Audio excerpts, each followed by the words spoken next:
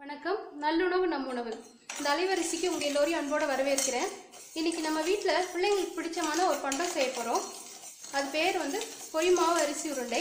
இது செய்ய தேவையான பொருட்கள் ஒரு கிண்ணம் ஒரு கிண்ணம் புழுங்கல் அரிசி. சாப்பாடு அரிசி எடுத்துக்கலாம். ஒரு கிண்ணம் நாட்டு சர்க்கரை.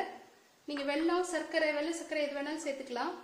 தேங்காய் ஒரு மூணு கீத்து. நீங்கள் திருவியும் போடலாம். நான் வந்து இன்னைக்கு மிக்சியில் போட்டு பொடியாக்கி சேர்க்க போகிறேன் ஏன்னா என் பிள்ளைங்க வந்து சாப்பிட மாட்டாங்க. உப்பு ஒரே ஒரு சிட்டி அளவுக்கு உப்பு கொஞ்சம் எடுத்துக்கோங்க. இந்த மாதிரி ஒரு அடிகனமான பாத்திரத்தில் அரிசியை போட்டு நல்லா பொறிச்சு எடுத்துப்போம். பார்த்தீங்கன்னா ஒன்று ரெண்டு அரிசி இன்னும் பொரியாமல் இருக்குது அது மட்டும் கொஞ்சம் பொறிச்சு எடுத்துப்போம் இந்த மாதிரி நல்லா வெடிச்சு வரும்.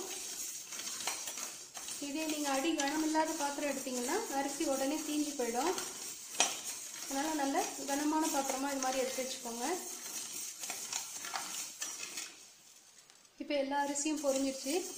இதையும் எடுத்துகிட்டு மீதம் இருக்கிற அரிசியும் நாம் சேர்த்து இதே மாதிரி பொரிச்சு எடுத்துப்போம்.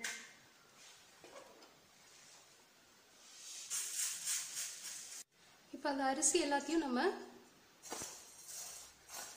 பொரிச்சு எடுத்தாச்சு. இது மொத்தத்தையும் இப்போ நல்லா ஆற வச்சு மிக்சியில் போட்டு பொடியாக்கி எடுத்துப்போம். இப்போ வாய் அகலமாக உள்ள ஒரு பாத்திரத்தில் நம்ம ஒரு கோப்பைக்கு அரிசி எடுத்தோம் இல்லைங்களா? அதுக்கு ரெண்டு கோப்பை அளவுக்கு தண்ணி இதில் சேர்த்து கொதிக்க விடலாம்.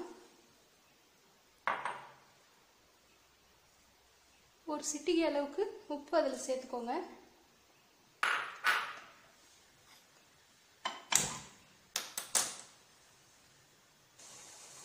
இப்போ தண்ணி நல்லா கொதி வருது. இந்த சமயத்தில் இந்த மாவை கொஞ்சம் கொஞ்சமாக இதில் சேர்த்துப்போம் உப்புமா கிளற மாதிரி கிளறுங்க.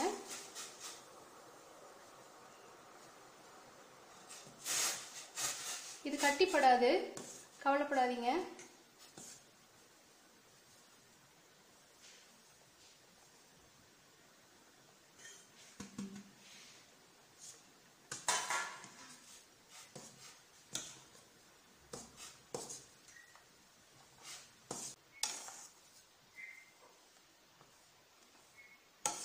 வெள்ளை வெள்ளையாக இருந்தாலும் ஒன்றும் பிரச்சனை இல்லை. நல்லா கட்டியாக அந்த மாதிரி கிண்டி வந்ததும் இது கூட நம்ம எடுத்து வச்சிருக்கிற இந்த நாட்டு சர்க்கரையை சேர்த்துப்போம்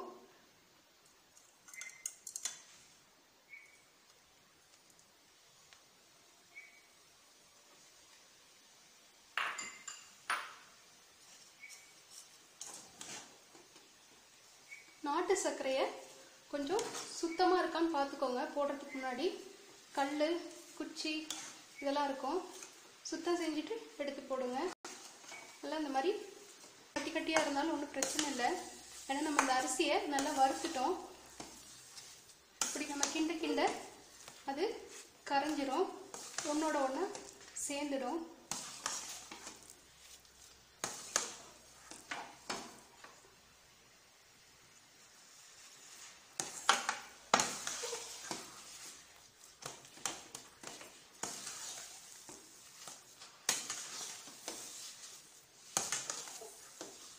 இது பார்த்தீங்கன்னா நல்லா சேர்ந்து வந்துருச்சு.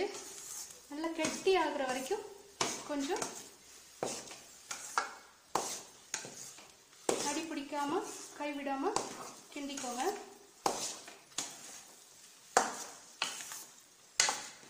போது அடுப்பை நிறுத்திட்டு இப்போ உருண்டை பிடிக்கலாம்.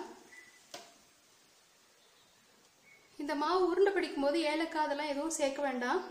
இந்த அரிசியோட வாசனை தான் வந்து இந்த உருண்டைக்கே வந்து ரொம்ப சுவையை சேர்க்கும்.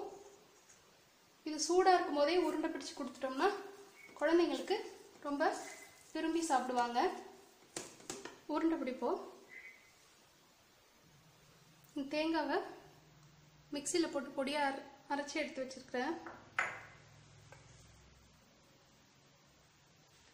மாவு நல்லா லட்டு பிடிக்கிற மாதிரி நல்லா உருட்டிக்கோங்க. உருட்டிட்டு தேங்காயில் நல்லா பரட்டி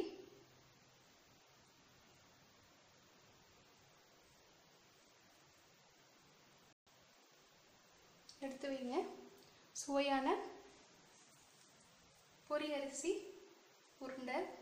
பிள்ளைங்களுக்கு ரொம்ப பிடிக்கும். விரும்பி சாப்பிடுவாங்க.